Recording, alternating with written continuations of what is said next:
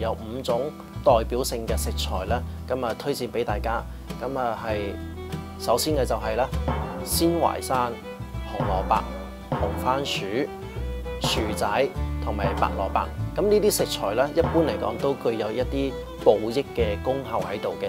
咁啊，冬天易補啦，所以市民都可以透過呢啲食材咧去進行進補嘅。鮮淮山咧係一種藥食兩用嘅食材，味甘性平。咁啊，以河南產地嘅係最好啦。咁啊，我手上呢一個咧就係淮山啦。咁啊，所以大家選用嘅時候咧，留意下佢個產地。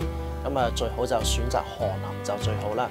咁啊，功效最主要佢有補腎嘅作用咧，同埋有補陰嘅作用嘅，同埋對於脾啊同埋個肺咧都係好有幫助嘅。咁啊，非常之適合冬天嘅時候咧去食用。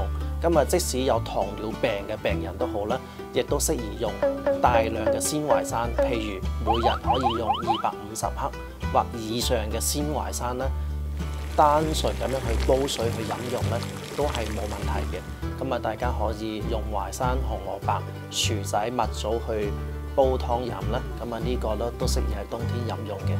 接落嚟，我介紹一下紅番薯嘅性味啦。佢甘平，功效係補虛益氣，有強腎陰同埋健脾和胃嘅作用嘅。咁喺冬天食嘅時候咧，咁佢既可以補充熱量去抗寒啦，咁啊另外又可以通便排毒喎。咁啊，對於紅番薯嚟講咧，佢佢又係一個鹼性嘅食物。咁啊，對於經常肉食嘅人嚟講咧，佢起到一個酸鹼平衡嘅作用嘅。咁啊，食療建議方面咧，紅番薯紅糖水咧，咁啊，大家平時喺冬天嘅時候咧，都可以煲嚟飲嘅。